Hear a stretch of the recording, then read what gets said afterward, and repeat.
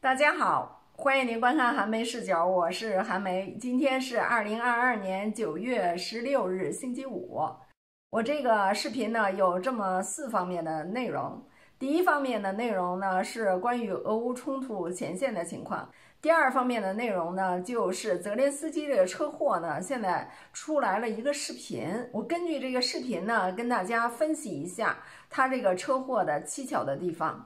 那么第三方面的内容呢，就是关于美国还在争夺印度的支持，但是呢，被印度狠狠地怼了回去。那么第四方面的内容呢，就是中国和俄罗斯在北极的一些联合的项目呢，现在引起来了北约的注意。北约呢，现在又要和中俄在北极开展争夺战。好，现在呢就一项一项的跟大家进行讨论。首先呢，就说前线的情况。那么前线呢，乌克兰发起来这个反攻啊，已经是到今天有十天的时间了。那么它捷报频传的时间呢，到现在应该是呢第六天了。现在乌克兰呢是非常的得意呀。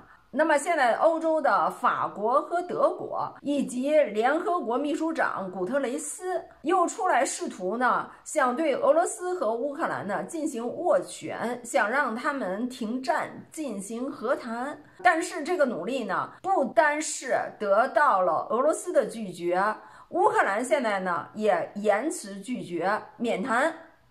那么同时呢，他们又重新提出来了，他们要加入北约的这个要求。所以我就说呀，就这个俄乌冲突哈，永远都停止不了。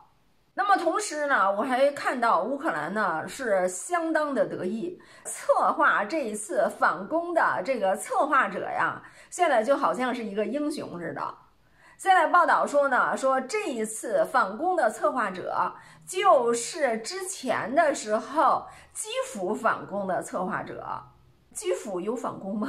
我们这个就看出来哈，就是他这一次的反攻和基辅那次实际上是一模一样了。那么基辅那一次呢，就是大约是在三月初还是三月底的时候，对吧？乌克兰呢那会儿，他本来是觉得完全都没有了希望，乌克兰他就提出来了一个和谈的方案，还记得吗？说那个方案呢已经是成文了，还把那个方案的文本交给了媒体。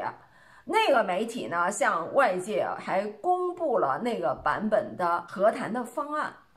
那么当时呢，俄罗斯就说，既然乌克兰有这样的诚意，那么我们也拿出来诚意，我们就从基辅撤军。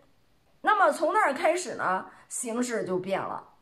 基本上从那儿开始，就从来没有进行过和谈，因为那个乌克兰呢，就觉得说，哎呀。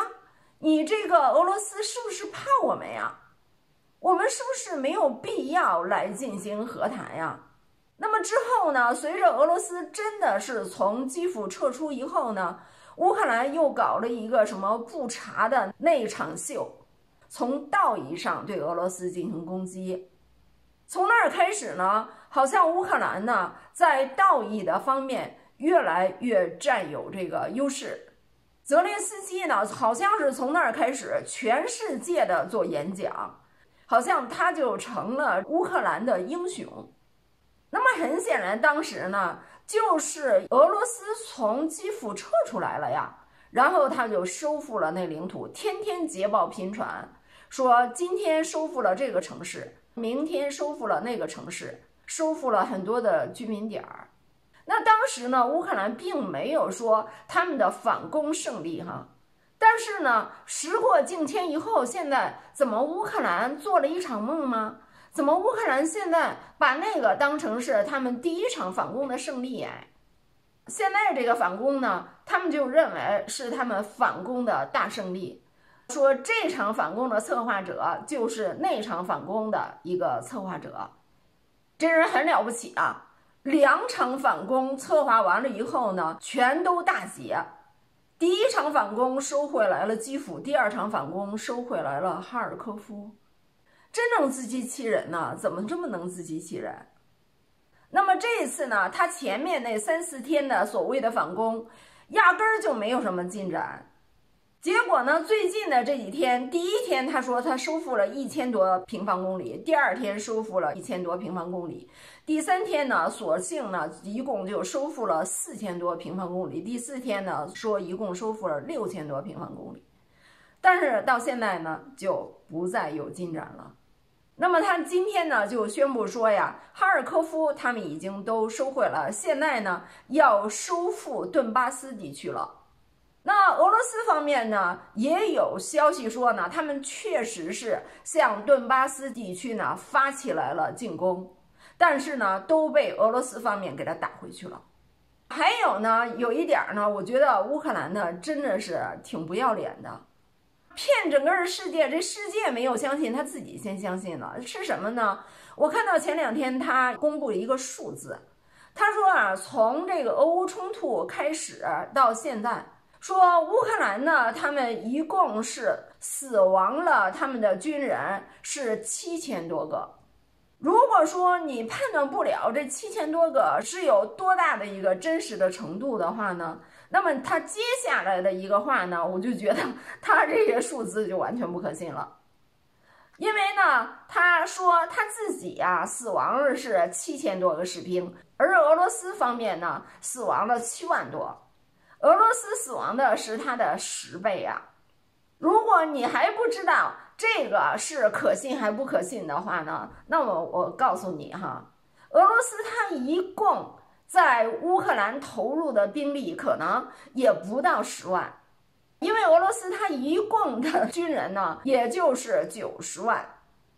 而我们就看到呢，基本上俄罗斯并没有动用他国内其他地方的那些军队，他这军队呢，我发现呀，他好像主要就是车臣部队，再加上顿巴斯这两个共和国的部队，充其量呢，一共是十万，咱们就说他十万哈。然后乌克兰说呢，他死了七万，我就看网上呢，有的网友哈留言就是说。我就请问这个乌克兰，你死一个，俄罗斯死十个，你是怎么做到的？因为你七千对七万就是一比十的关系嘛，哈，你死一个，他死十个，你是怎么做到的？你什么时候打死了他那么多人？第二就是俄罗斯，如果说他投入十万，已经死了七万，就剩下三万了。那么俄罗斯现在还不是大失血吗？对不对？我们为什么没有看到这一点呢？别的我们不说，就是车臣那帮人儿看起来他们也没有太大的损失啊。还有顿涅茨克这两个共和国，他们的武装力量看起来也没有伤什么元气啊。所以呢，从这些来看呀，这个乌克兰真能撒谎啊！这个乌克兰说的话真的是。恐怕连一个标点符号都不可信。那么最近这些天哈，如果说乌克兰大胜，俄罗斯大败的话，按说这个俄罗斯这一边这个军心还不得慌的不行了。我看到呢，就是英国的媒体 BBC 的报道，他们就深入到了俄罗斯的境内，说看起来俄罗斯呢，所有的地方没有看出来任何的打了大败仗的那种氛围。俄罗斯的国内呢无比安静，我们从普京去参加上合组织这个会议这个情况来看呢，我们也能看出来，好像没有任何的影响。哎，我这些天呢，我在视频里一直都说，就是你乌克兰这胜仗哈是怎么打的，别人不知道，你自己没点那什么数吗？对不对？看来呢，他还真没有，真没有。那么他这些谎言哈，没有骗得了别人呢，反而是把自己给骗了，只是把自己骗了而已。我都说了，这是什么呢？这就是美国和乌克兰联合上演的一个政治戏。为什么说政治戏呢？就是因为欧洲现在对乌克兰的这个军援呢，已经没有动力了。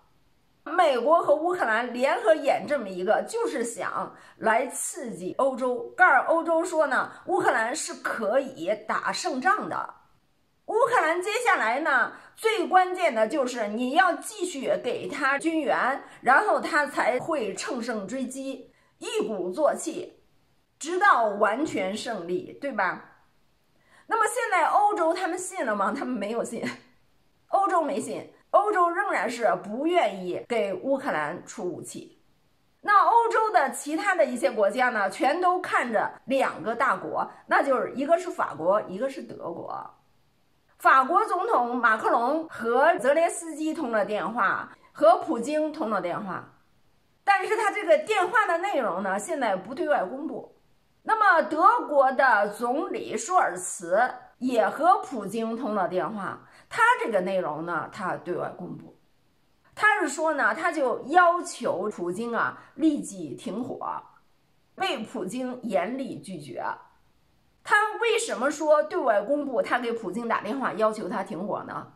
他就是想说呢，我不给你武器，我们可以通过其他的方式来促成这一个停火。从一开始的时候呢，这个舒尔茨啊，就是欧洲国家当中提供军援最不积极的。他就是被追着赶着才参与到这里面来的，这我们看得非常清楚。那么他在中间的时候呢，德国其实是提供军援最多的，但现在我们从这个舒尔茨的态度来看呢，其实他仍然是不情不愿。倒是美国拜登现在呢，又对乌克兰给予新一批的军事援助。那么就在昨天的时候呢，美国又批准了。新一批的军事援助是六亿美元啊。那么这些武器呢，就包括这么四类。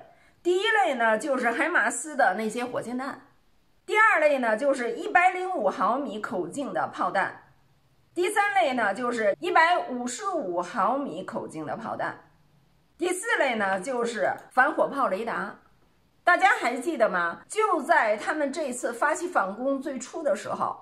我们看到俄罗斯方面的报道，就说呢，说在战场上发现乌克兰方面所发的那些炮弹，不全是一百五十五毫米，出现了大量的一百零五毫米。就是说呢，美国所提供的一百五十五毫米呢是严重不足了，然后提供一百零五毫米的。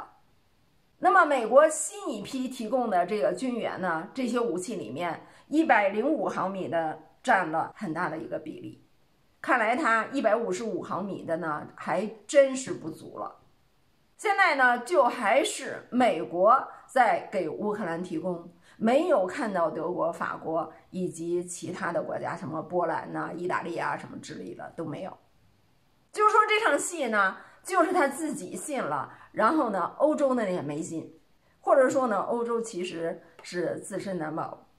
欧洲真不希望这场战争再打下去了。因为这个冬天呢，他们实在是受不了了。对欧洲的断供，看来普京呢不会停手。那么今天呢，在前线还有一个消息，就是俄罗斯是用了六枚导弹打了乌克兰的一个水电站。这个水电站呢，就是泽连斯基他家乡的一个水电站。这个大坝呢，就给他打决口了。大坝决口以后，它的下游的水位增加了好几米，说是。但是呢，我看乌克兰方面的那些个报道就是说呢，这个打击呢影响也不是特别大，说很快就给它修复了。这个呢，我想就是俄罗斯用这一个行动来表明他们的态度。我们都知道呢，看到俄罗斯在这场军事行动当中是无比克制的。这个仗打的呢是非常奇怪的，欧洲那边呢就对俄罗斯进行制裁，这种制裁呢是完全自杀式的制裁，斯都还没有卡他脖子的时候，他们就说呢禁运俄罗斯的石油天然气，那么俄罗斯呢就时不常的我给你就断断气儿，欧洲已然是受不了了。但是呢，俄罗斯最大的敌人、唯一的战场乌克兰的气，俄罗斯却从来都没有给他断过。乌克兰的生命线呢，等于说全部都掌握在俄罗斯的手里面。乌克兰的油、乌克兰的气、乌克兰的电，所有的都掌握在俄罗斯的手里面。可是呢，俄罗斯从来都没有对乌克兰这些方面进行过打击。这次俄罗斯对它的水电站的这个攻击行为，可能是俄罗斯就表明一个态度：我也可以来对你的民生方面进行打击的，我也可以卡你脖子的。好，这是俄乌冲突前线的情况。然后我们再说呢，泽连斯基前两天那个车祸的事儿。那么前两天呢，乌克兰方面就发出来消息说呢。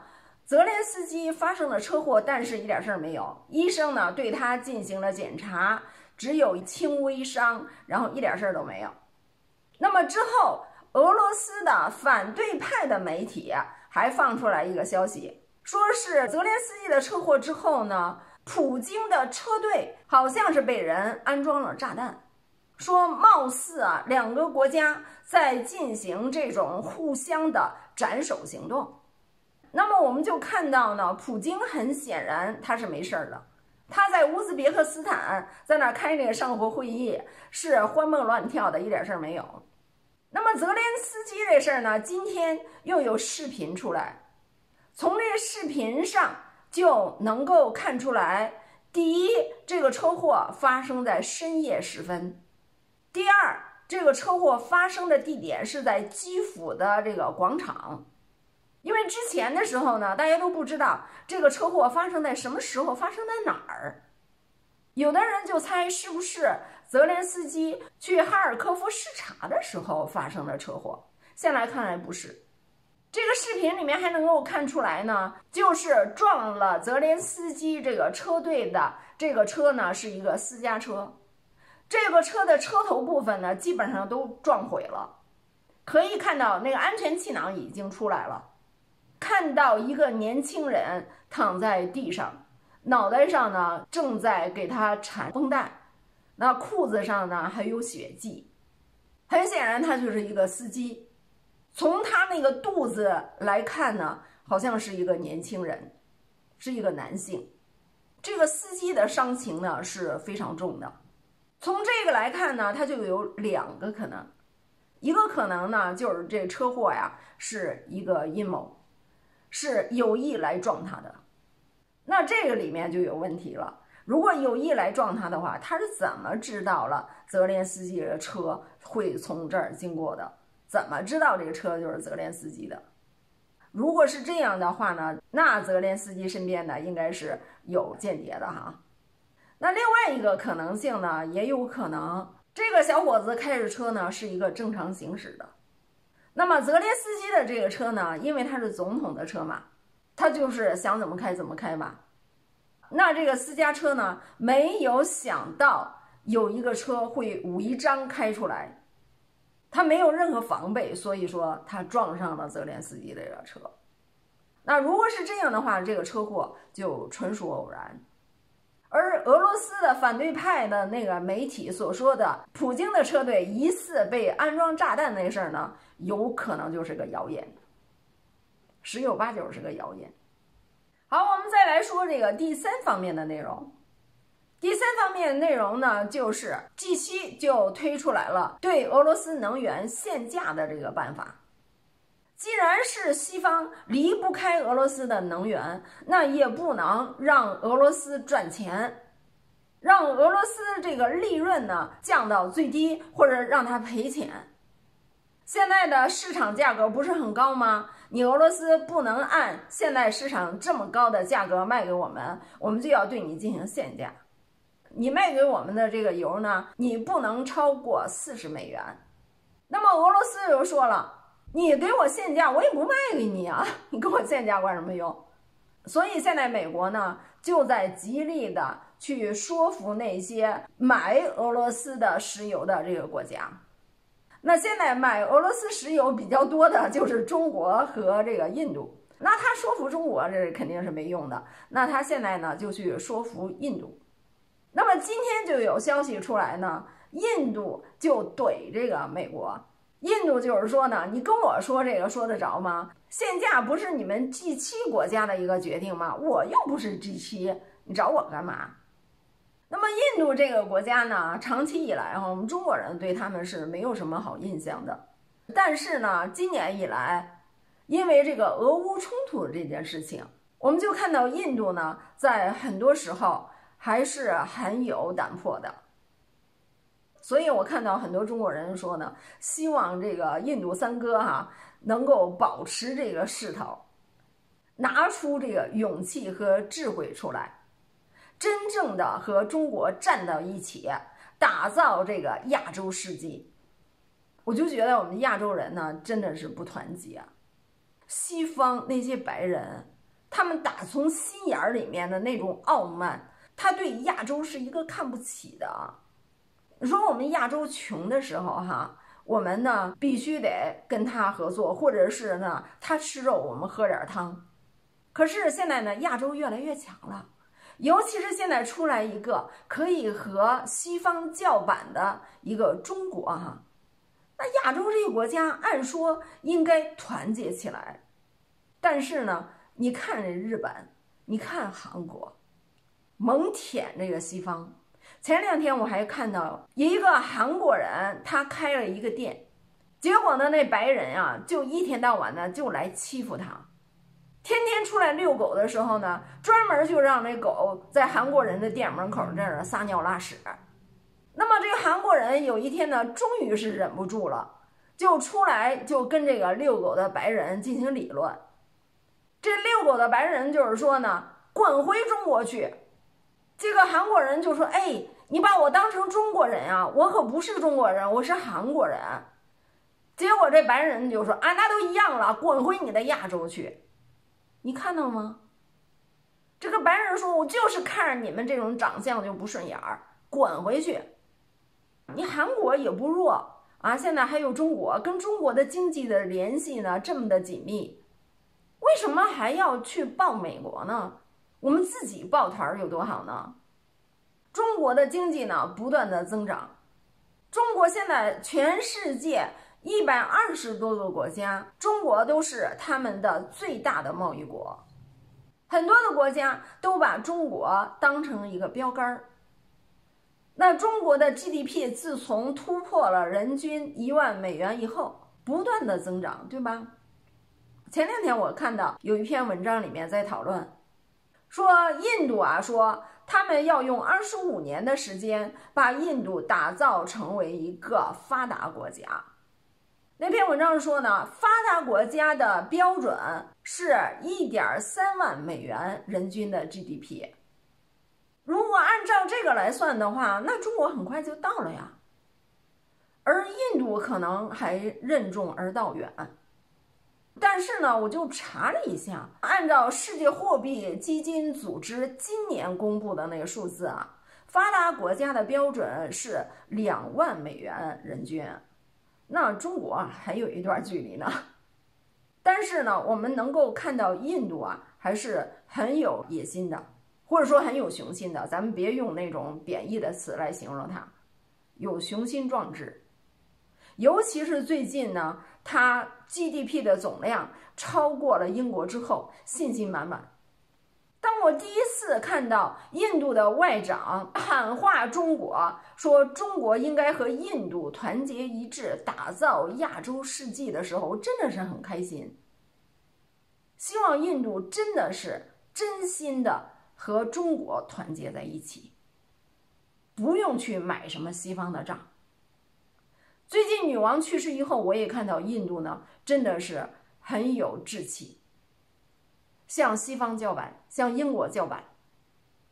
印度今天还提出来要求英国赔偿呢，拿出来一个数字，要求英国赔偿啊，四十五万亿。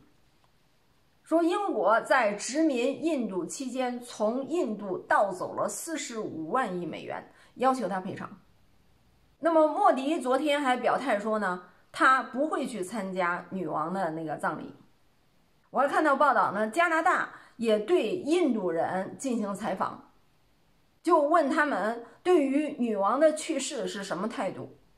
报道说呢，加拿大的印度人对于女王的去世就是冷漠的耸耸肩，意思就是说呢，I don't care，就是那个意思，我不在乎。谁在乎什么女王啊？从这点上来说呢，还真是对印度呢肃然起敬，有骨气，坚持下去。最后呢，我们就来说一下，现在北约又盯上了中国和俄罗斯的在北极的合作项目。今天我就看到呢，俄罗斯北极号耐冰平台开始首航。这个耐冰平台呢，是全世界独一无二的一个科考船。上面可以容纳很多的科研团队。这个科考船它的使用寿命呢会是三十年到三十五年啊，所以说呢它至少能用到二零五零年。说是它就可以破冰到北极地区，然后呢和这个冰啊冻到一起，然后就在北极的水里面就可以漂着，让那些科学家们。进行科学研究。那么，随着气候变暖呢，我看到中国也在考虑说呢，将来如果气候变暖的话，可以开辟一条经过北极的一带一路，好像这个运输成本呢会更低一些。那么，据路透社的报道呢，前两天呀，北约秘书长斯托尔滕贝格到加拿大来访问的时候，他又说。俄罗斯在北极的军事存在已经对北约构成了战略挑战，而中国的表现呢也非常的让人担忧。以前的时候呢，我就看到美国有一些人就提出来说呢，中国没有权利在北极进行染指，中国又不是北极国家。中国就说北极不是某些人的北极。北极并不属于某些国家，北极是全人类的北极。现在美国就想在北极啊和俄罗斯进行挑战，对中国进行排斥。要说中国呢，还真不是说呢和北极一点关系都没有。前一阵子就是在讨论俄罗斯在加里宁格勒那个飞地的时候啊，我无意之间我看到有人说呢。说我们中国在北极也有飞地，这个是怎么回事呢？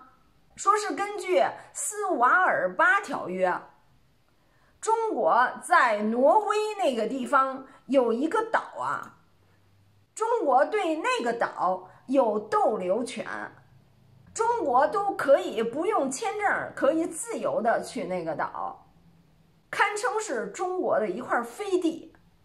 我看了那个以后，哎。我就觉得还有这种事儿吗？后来我就查了一下呢，它是怎么回事儿？说那个岛啊是在一五九六年的时候，由荷兰的一个探险家叫巴伦支他发现的。那么在一九二零年的时候呢？有什么英国呀、美国呀、丹麦呀、挪威呀、瑞典、法国、意大利、荷兰，还有日本等十八个国家，他们就签署了一个条约，说这个岛呢，因为它资源丰富，我们大家都有权利来，谁来都行，不需要签证。那后来在一九二五年的时候呢，中国、苏联、德国、芬兰、西班牙等三十三个国家也都签了这个条约。这些国家呢，也就是说到现在有三十三个国家都可以随便去那个岛，中国也可以去，不需要签证。虽然说呢，这就算是中国在那儿有一个有权利去的这么一个岛，但是呢，并不是说只有中国可以去啊，三十三个国家都可以。那么，二零零四年的七月二十八号的时候呢，中华人民共和国呀就在那儿建了一个北极考察站，叫黄河站。啊，你北约你怎么能说美国？你怎么能说中国就在北极没有任何的权利呢？中国也是有权利的呀。更何况呢，除了说有的国家它的那个疆域以外，对吧？俄罗斯它那个疆土，加拿大。它北边的疆土，还有美国阿拉斯加什么北边的疆土，它那疆土以外的地方，那些地方都是公共的呀，谁都可以去啊。现在呢，北极还是一个冰封的世界，只有俄罗斯有那些远程的核动力的破冰船，其他的国家还真没有。美国、加拿大呀、北约啊，真是干瞪眼。俄罗斯和中国的关系比较好，俄罗斯呢可以和中国联合搞一些合作。而对于他们的敌人，什么美国呀、什么的北约啊那些那些敌人，俄罗斯不带他们玩，气死他们。好，我这个视频就跟您说到这里，感谢您的收看，下次再见。